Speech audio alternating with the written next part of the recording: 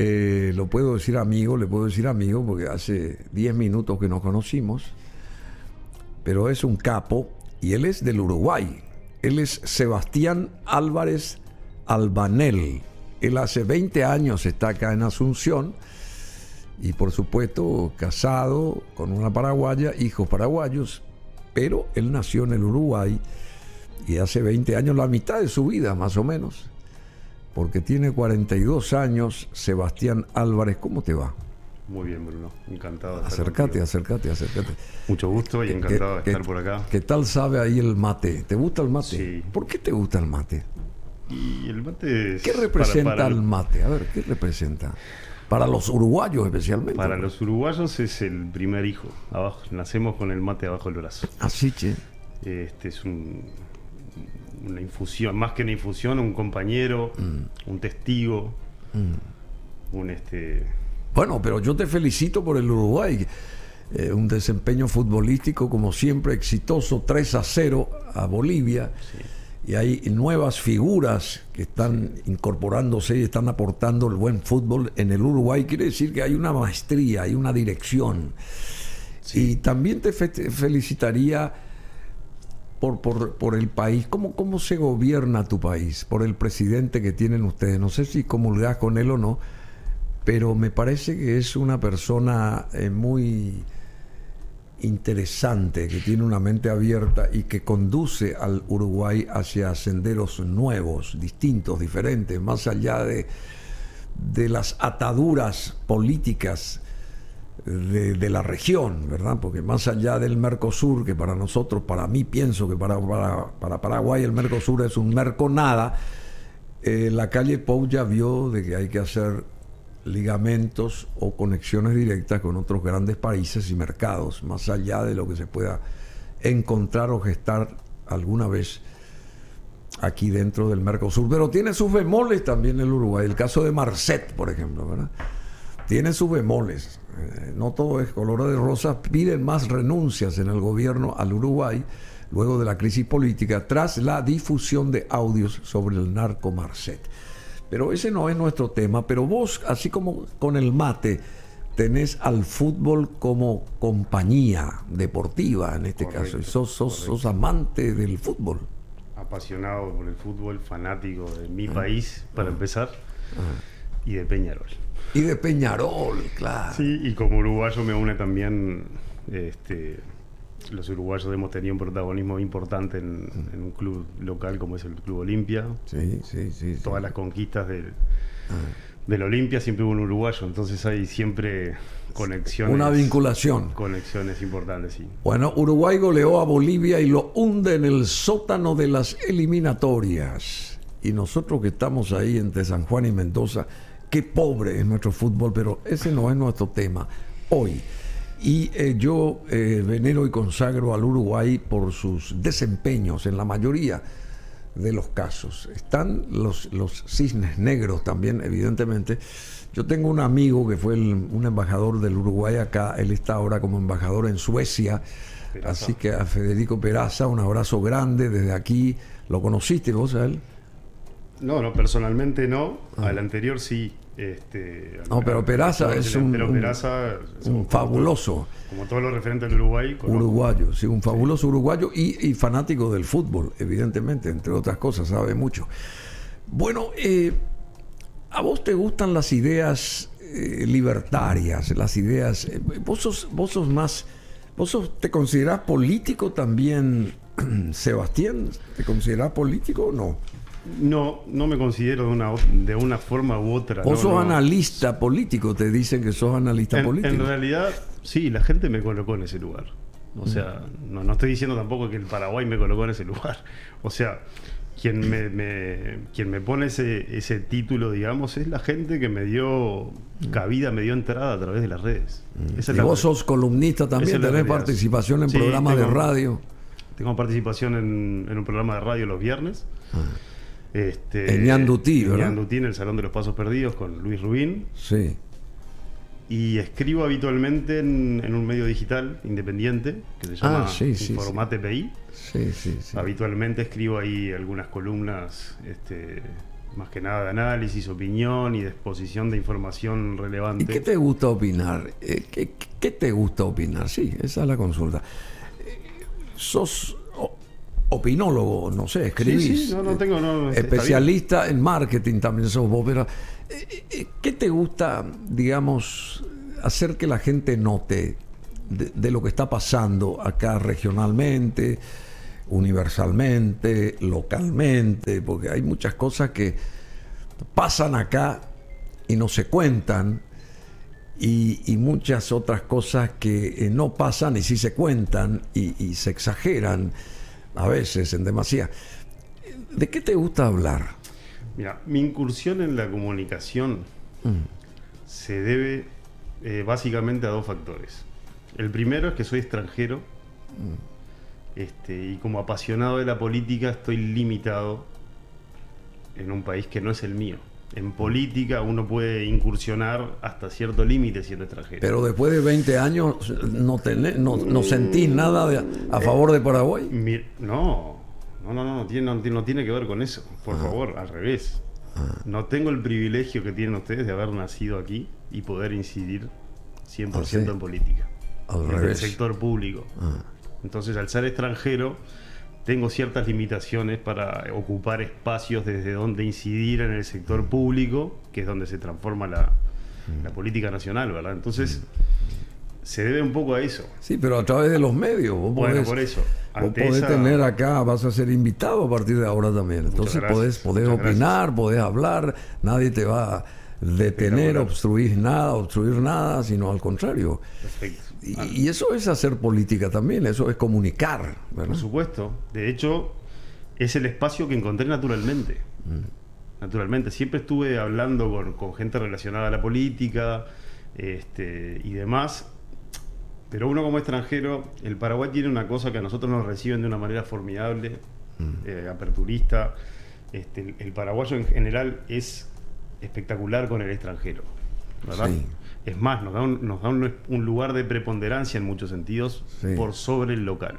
Eso es una realidad. Los extranjeros Sí, les dan un lugar cierto. importante. Sí. Pero eso cambia a la hora de opinar. Te doy ese lugar hasta que opines algo que no me gusta de mi país. Claro, sí, sí sabemos. Este, Entonces, hay, hay que saber manejar en la comunicación el lenguaje para no herir susceptibilidades, porque siempre la reacción natural es eh, si no te gusta hablas de tu país, ¿verdad? Esa es una realidad que nos toca vivir a los extranjeros que tratamos de incidir en la comunicación. Es una realidad a la que nos enfrentamos todos los días, ¿verdad? Todos los días. Mala, fea.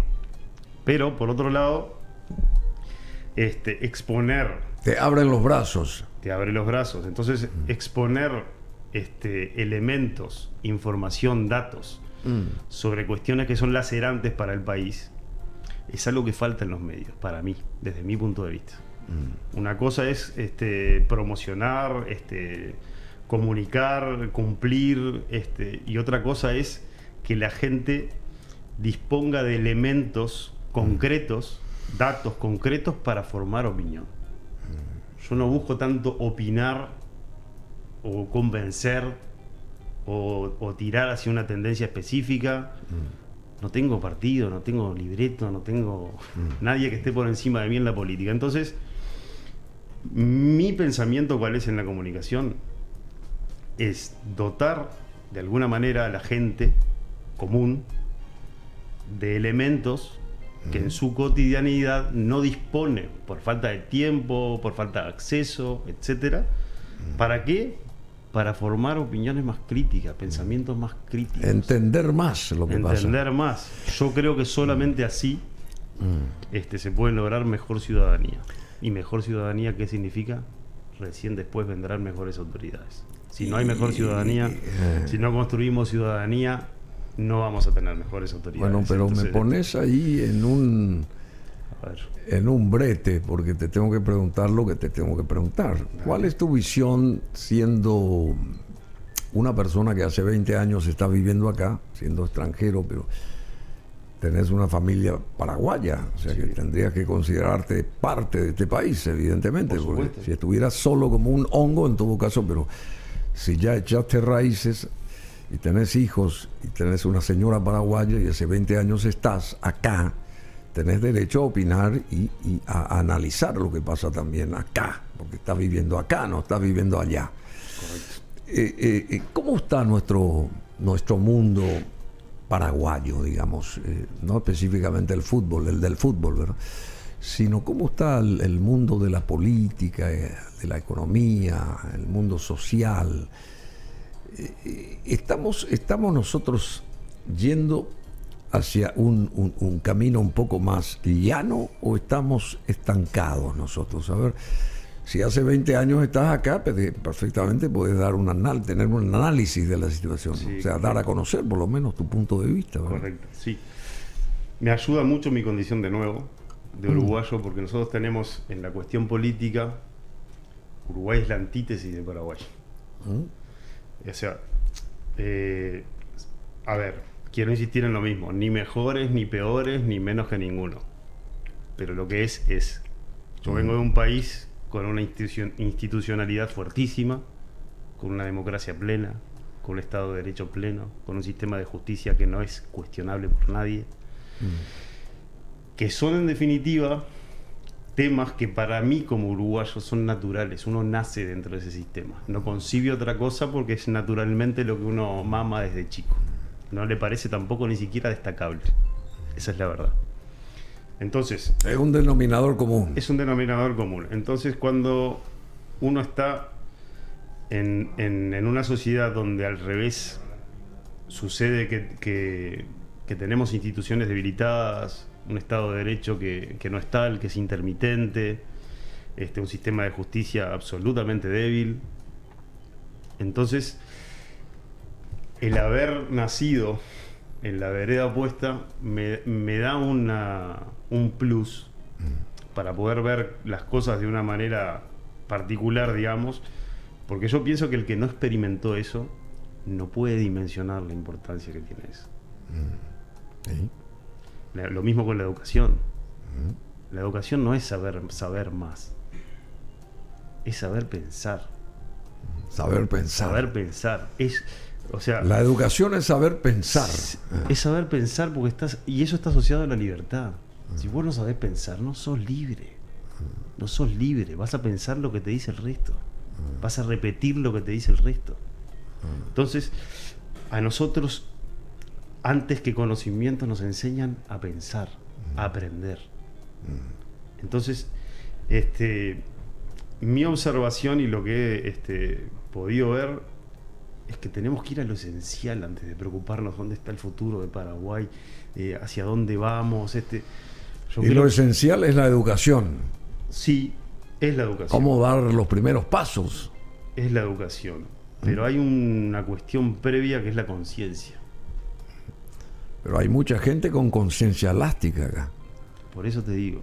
Ah. Eh, yo creo que lo primero que, que hace falta es, ser conscientes y, resolver. ¿Qué es la conciencia para en ese en esa lo que estás señalando vos? ¿Qué, vendría a ser la conciencia en este caso? Nombro la conciencia porque quiero asociarla a una cuestión de, identidad nacional. Mm. ¿En qué sentido? Eh, me parece que hay, un factor que falta que definamos eh, como sociedad paraguaya, mm. Que es quiénes somos los paraguayos, mm. qué nos une, ¿Qué, nos hace distintos al resto, qué tenemos distinto del resto, mm. que nos hace destacables e indoblegables. Mm. ¿Sabes por qué? Porque si uno no sabe cuáles son los factores que nos unen como paraguayos, que los necesitamos desesperadamente, la sociedad necesita temas, cuestiones que unan a los paraguayos. Claro. Quedaba el fútbol. Es lo fundamental. Quedaba el fútbol y ahora ni el fútbol. Ni el fútbol da eso. Entonces. Más bien desune el fútbol. Exacto. Entonces, por eso me refiero que es algo muy básico. Y a ustedes les une el fútbol. A nosotros nos une el fútbol y es un. Y el buen fútbol, ¿no? Bueno, sí, Bielsa vino a agregarle juego a Uruguay, que es lo que nunca tuvo. Por eso puede ser que andemos bien.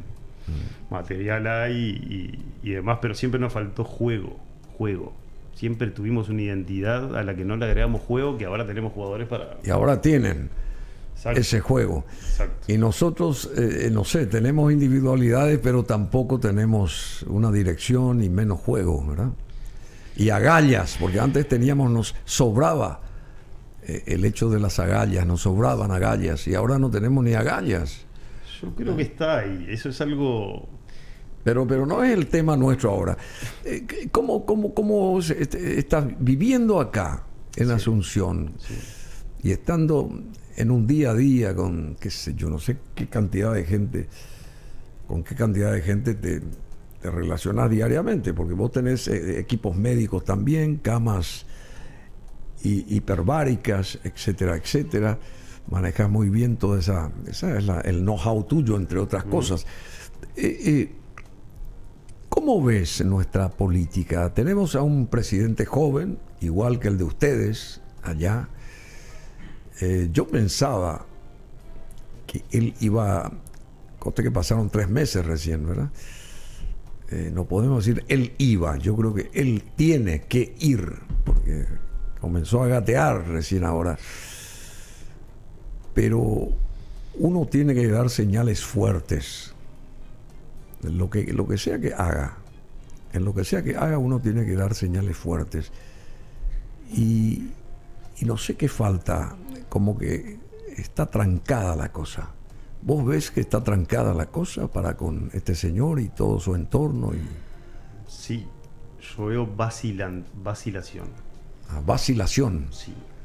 Eh, a, ver, Peña, para empezar, para mí es un lujo para el Paraguay. Él, su perfil, su perfil personal político, para mí es un lujo para el Paraguay. Es más, no es representativo de la sociedad paraguaya en general, digamos, en el sentido de que, otra vez, no es denigrando ni despreciando nada, solamente que él representa un sector o un perfil político que no es el populacho. Es un tipo formado, bien presentado. Eh, este, es un Brad Pitt de la política. Es, lo es. Es un tipo que yo siempre digo, el tipo entra a cualquier espacio y cae bien, transforma la cara, es agradable. tiene, tiene es un tipo que tiene todo a su favor. Esa es la verdad. tiene todo a su favor. y tiene otro factor a su favor que para mí es el más grave que no está aprovechando. Que es que hay un público mm. que no es el de Honor Colorado, mm. que está listo para apoyarlo. Mm. Si él da señales. Justamente. Si, él da señales. Si él da algunas señales específicas. ¿Y, por qué no, no las da? De todas maneras, ¿Te parece que no las da? Yo prefiero ser prudente. Eh, ah. Me parece muy poco tiempo para juzgar. No, no estamos juzgando. No, no, no. Estamos analizando. No, no, digo por ti. Pero hay un fatalismo desmedido ah. que no le hace bien al país este, son cinco años. Uno tiene que saber leer este, eh, el contexto. El contexto. Mm. Y lo primero es ser conscientes de que él llegó con poder prestado. Mm. Él llega donde llega con poder prestado. Esa es una realidad. El que no lo reconozca. Poder prestado. Poder prestado. Él está en la cúpula del poder ahora. ¿Y qué quiere decir? ¿Tiene que devolver, devolver ese, ese poder prestado? poder prestado, como una suerte de dinero prestado. Tengo que devolver el dinero al que me prestó. ¿Es más o menos así la cosa? Si el que te lo prestó, te lo prestó con condiciones, sí. Si el que te lo prestó, te lo prestó por amor al país, no. No sé cuál es el caso. Mm. Lo que sí creo es que Santiago Peña tiene que construir poder. ¿Cómo se hace eso? Construir poder es eh, en conjunto con la población justamente, dar señales positivas, resultados más que discursos, que hagan que la gente note la mano de Peña, mm. la credibilidad de Peña, del presidente. Yo siempre digo, Paraguay es un país en que la, eh, en general decimos, no, el poder está dividido en 10 personas. Esto, yo siempre digo, sí, sí, todo, todo perfecto. Mm. Pero nadie está por encima del presidente. Mm.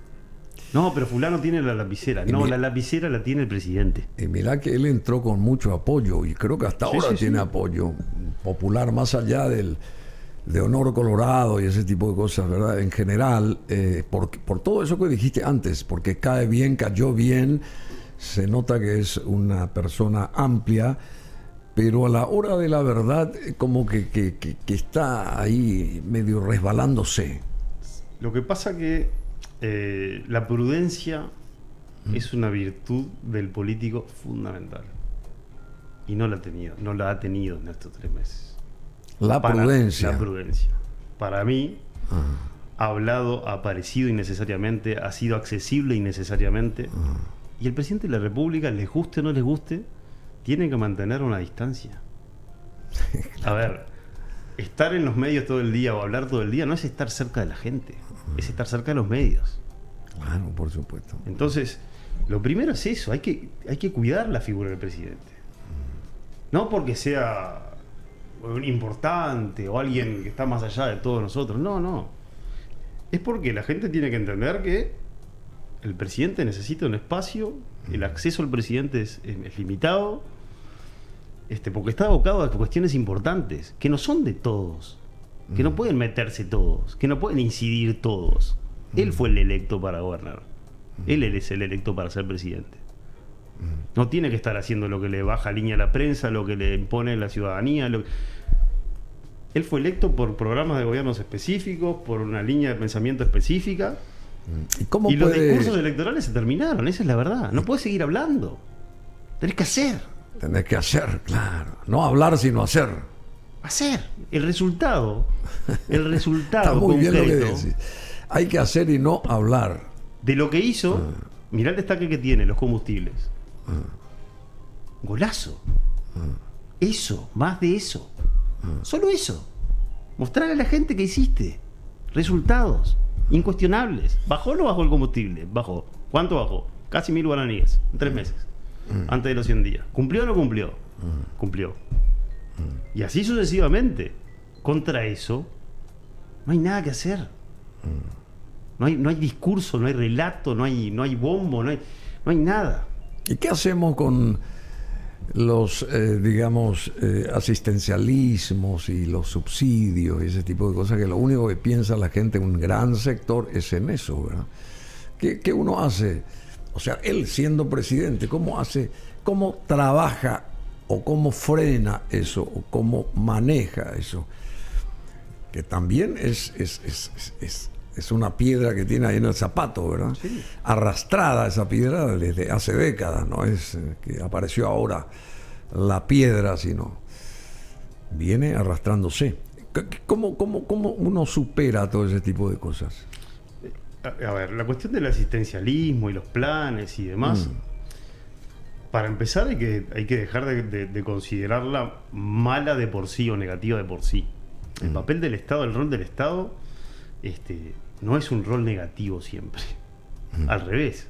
Si se le da el lugar correcto, que es limitado, se debe limitar a la presencia del Estado allí donde el ciudadano, en su individualidad, no puede. No puede. Y la asistencia y los planes sociales tienen que limitarse a eso. Realmente a la gente vulnerable, que individualmente necesita presencia del Estado. Ahora, la utilización de los planes sociales y el asistencialismo con fines políticos se tiene que terminar. Porque ya estás, ya llegaste a la presidencia. No tenés que ir a la presidencia, no tenés que cumplir para que la gente te ponga en un lugar. Tenés te- que mantenerte. Se tendría, él tendría que cumplir con todos los paraguayos, no solamente con un sector, ¿verdad? Correcto. Eh, Partiendo de esa base. Y para terminar ese, ese tema que empezamos con la construcción de poder, Ah, yo creo que es determinante que Santiago Peña construya. Mm. Yo creo que un tipo formado y con la capacidad que aparenta tener, que aparenta tener, está muy bien. estoy seguro que va a por una cuestión de orgullo propio y de desarrollo personal, va a querer construir su camino. No es en desmérito de, de quien lo puso, es en su propio mérito. Claro, lógico. Entonces, Uno tiene que dejar cierta huella, ¿no te parece? vos hablás hoy de peñismo, Ah. que no existe, es cierto, no existe todavía. Pero tú hablas en el Partido Colorado de peñismo y te saltan al cuello. Sí, Está. Honor Colorado, te dice. Ah. Pero no, pará, no es en contra de Honor Colorado. Ah. No es en contra de Horacio Cartes. Es a favor de Peña. Que tiene un perfil que no es Que el de la tiene que ser política- construido. Exacto, que no es el de la política tradicional, y demás. Un tipo que puede estar cerca de la gente y crecer y, construir poder con la gente. ¿Y cómo eso mismo hizo un desconocido, un outsider, que tuvo dos años de desde que apareció en televisión y ese tipo de cosas, y hoy llegó a la presidencia en la Argentina. ¿Cómo, cómo hizo en dos años todo y cómo impuso su impronta y contra todas las, reglas habidas y por haber, ¿verdad? Hay, diferencias entre, entre este señor que hace tres meses asumió el poder acá y aquel que el domingo fue ungido como presidente electo, digamos, ¿dónde radica la diferencia? Ojalá Argentina tuviera un presidente como Santiago Peña. ¿Verdad? No al revés. y ojalá Paraguay no tuviera un presidente como Milei. Ah.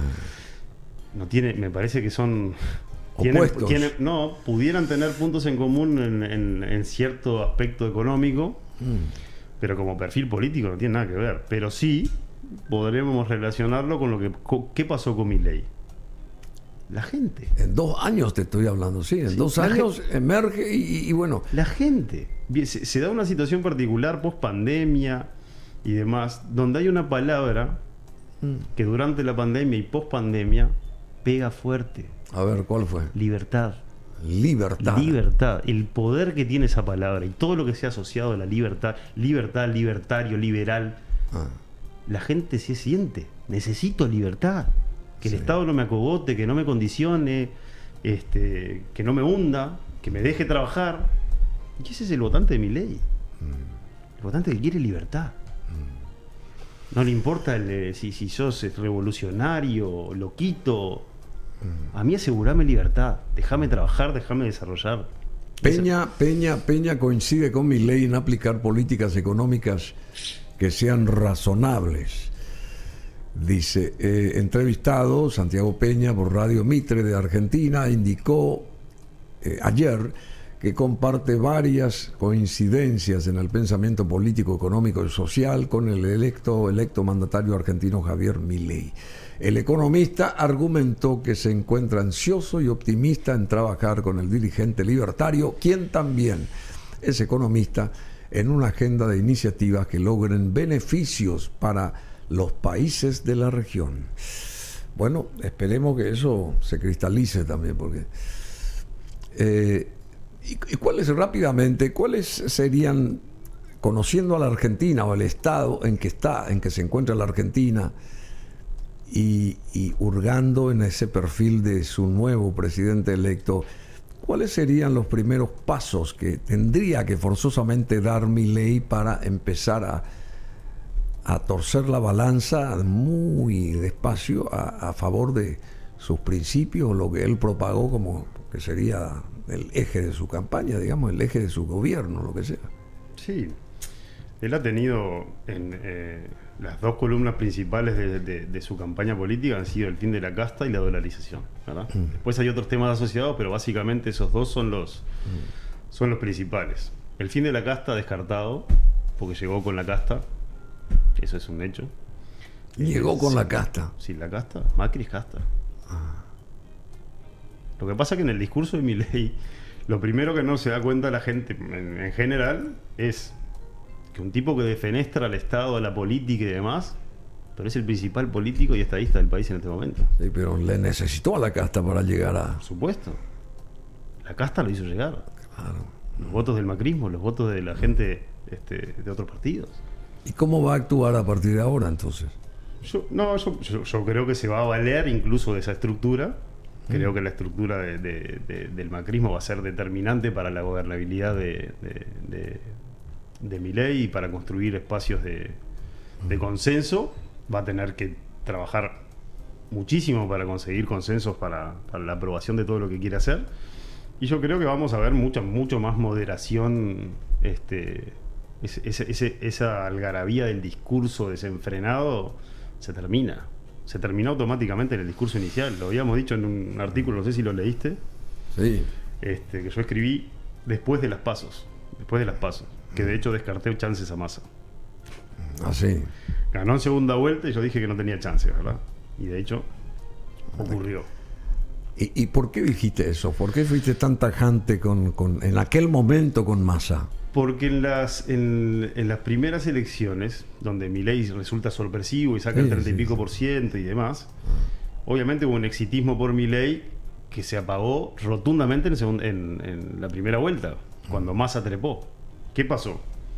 Haciendo la lectura de trepó por mucho, trepó por mucho, aparentemente. haciendo la lectura del escenario político, de lo que está escrito en el escenario, que es lo que siempre trato de leer y exponer, este, el peronismo se la jugó toda viendo que se quedaba afuera.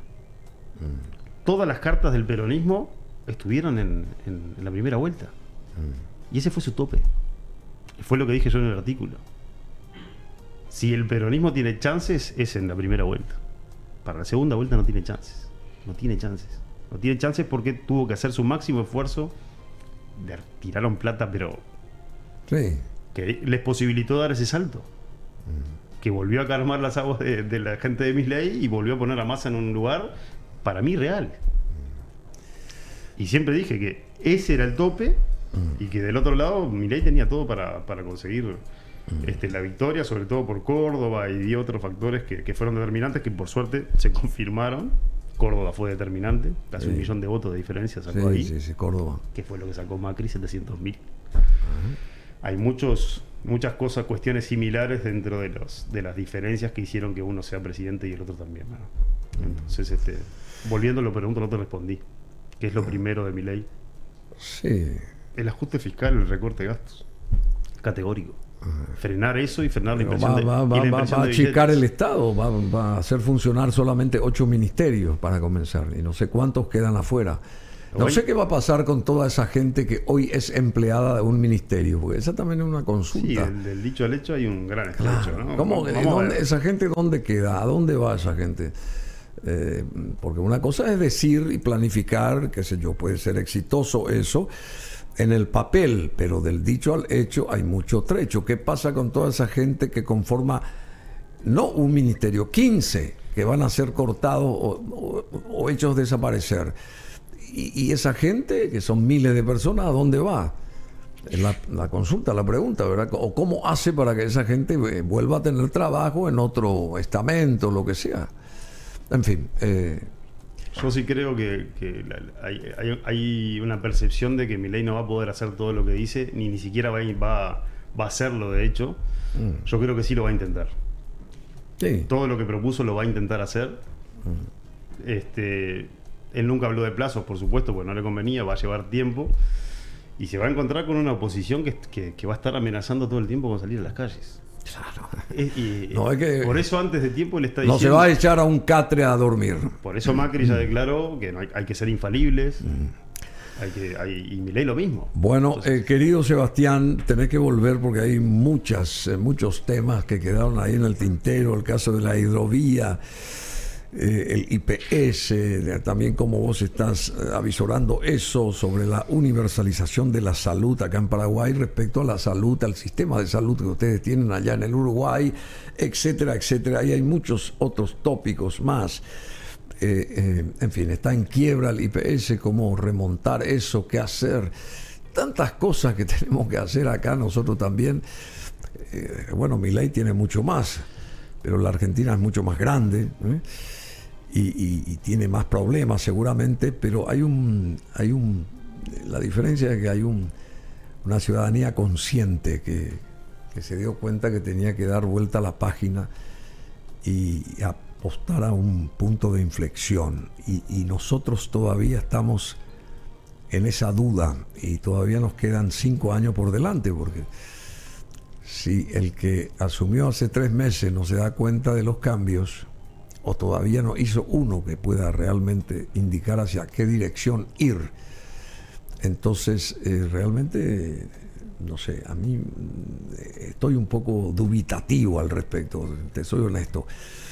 Conte que creo todavía en Santiago Peña, todavía creo en Santiago Peña por todo lo que dijiste antes a nivel personal, pero que le dejen hacer, que le dejen volar, que le dejen liberarse, ¿no te parece? 100%. 100% y creo que va a ocurrir. ¿Va a ocurrir? Va a ocurrir. Va a ocurrir. Ah, sí. Eh, eh, elijo, elijo pensar así, no es una cuestión de creer o no creer. Mm. elijo que es el camino. Eh, es un tipo que hace demasiado tiempo que espera por estar donde está. Mm. Trabaja este, para eso. Y lo vamos a ver construyendo su, su camino y haciendo camino al andar. Estoy seguro. Haciendo camino al andar, como el poeta. Bueno, muchas gracias, eh, Sebastián Álvarez. Un gran placer de haberte conocido. Tenés que volver pronto.